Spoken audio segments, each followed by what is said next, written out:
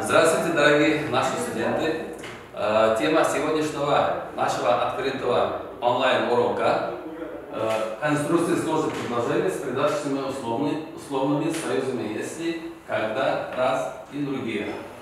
Э, Как мы говорили на прошлых уроках, условные отношения можно выразить и в простых предложениях, и в сложных предложениях.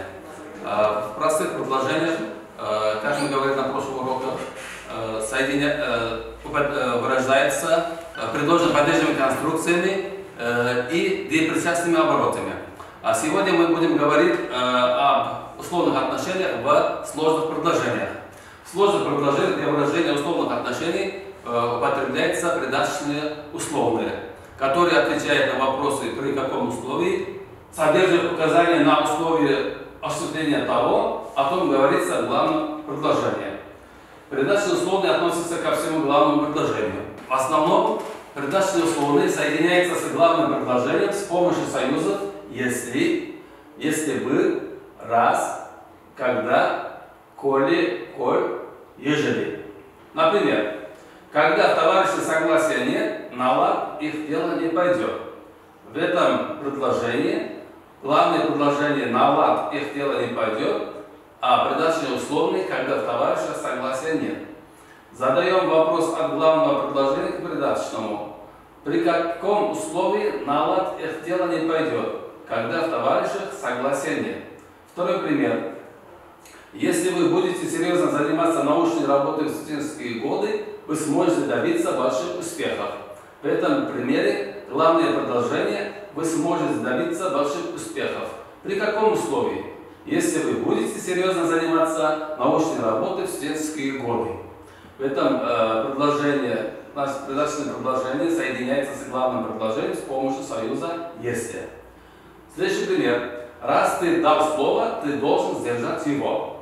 Э, В этом примере главное предложение «ты должен сдержать его» при каком условии? Раз ты дал слово.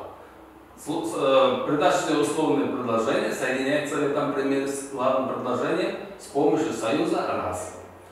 Следующий пример. Старики пусть дерутся, кони им это весело. Главное предложение.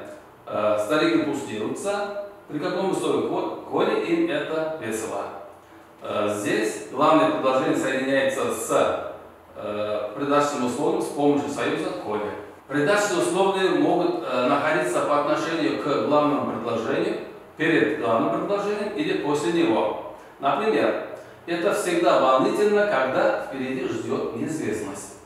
В этом примере э, главное предложение это всегда волнительно, а условное придаточное предложение, когда впереди ждет независимость. Придаточные условные могут э, находиться перед главным предложением или после главного предложения. Например, это всегда волнительно, когда впереди ждет неизвестность. В этом примере главное предложение находится э, в начале предложения, а Придаточные условия находятся после главного предложения. Во втором примере команда выйдет в финал, если выиграет завтрашний матч. Здесь придаточные условия предложения, если выиграет завтрашний матч, тоже находится после главного предложения.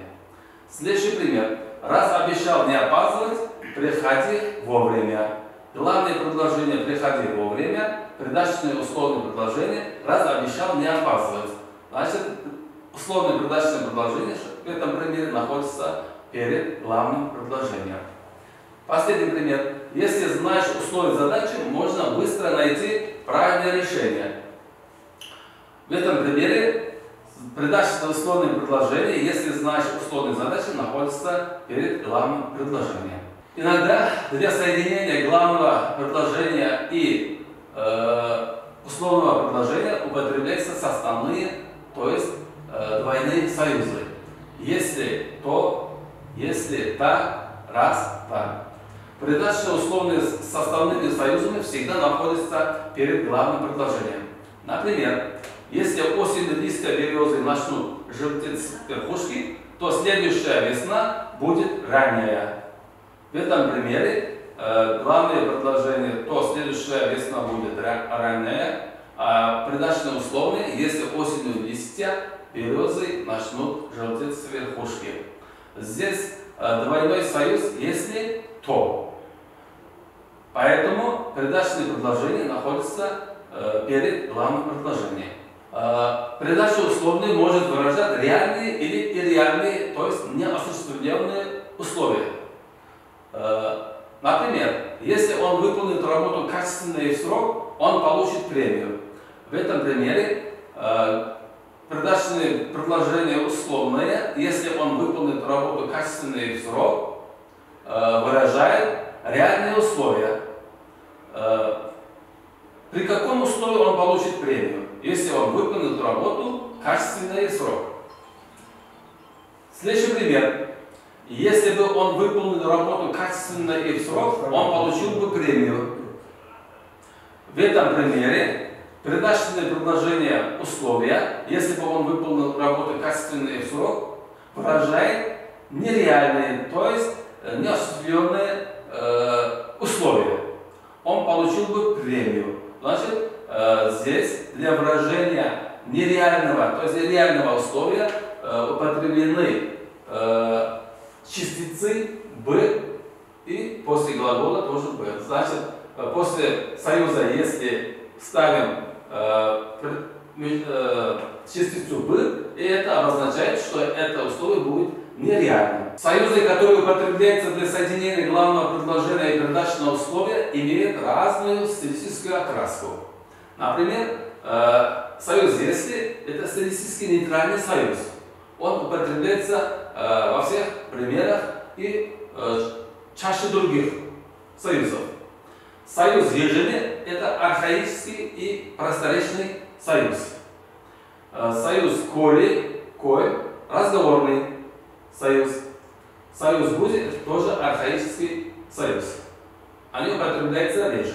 Например, ежели мы добились одного, добьемся и второго. Так, главное предложение добьемся и второго, придаточное условное, ежели мы добились одного.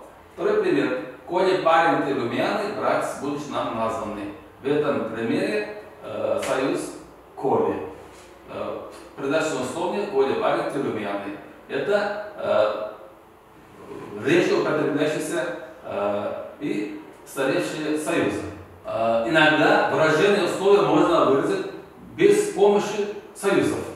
Например, э, зная я ремесло, жил бы в городе.